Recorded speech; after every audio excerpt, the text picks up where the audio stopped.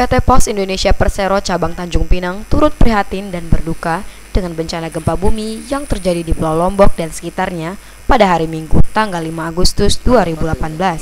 Sebagai bentuk empati dan kepedulian kepada korban bencana, PT Pos Indonesia Persero membuka pos peduli korban bencana gempa bumi di Pulau Lombok dan di cabang PT Pos Indonesia Persero Tanjung Pinang. PT Pos Indonesia Persero cabang Tanjung Pinang berkomitmen untuk membantu pengiriman barang ke Lombok. Magirin selaku manajer proses dan transformasi PT Pos Indonesia cabang Tanjung Pinang mengatakan, pada tanggal 16 Agustus 2018, jumlah pengiriman bantuan mencapai 398 koli seberat 7 ton yang diberangkatkan dengan kapal pelni secara bertahap.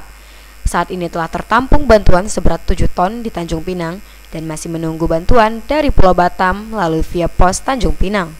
Kita uh, kantor pos sudah melayani anu peduli Lombok itu mulai 18 Agustus sampai dengan tanggal 16 Agustus. Itu jumlah uh, kiriman yang diterima untuk peduli Lombok se se sampai dengan tanggal 16 Agustus itu 7 ton. 7 ton ya, 7 ton. Kita berangkatkan dengan uh, kapal pelni itu uh, bertahap. Tetap. uh, Wagirin menambahkan, semua bantuan akan dikirim pada tanggal 28 Agustus 2018 mendatang. Tim Diamond TV melaporkan dari Tanjung Pinang, Kepulauan Riau.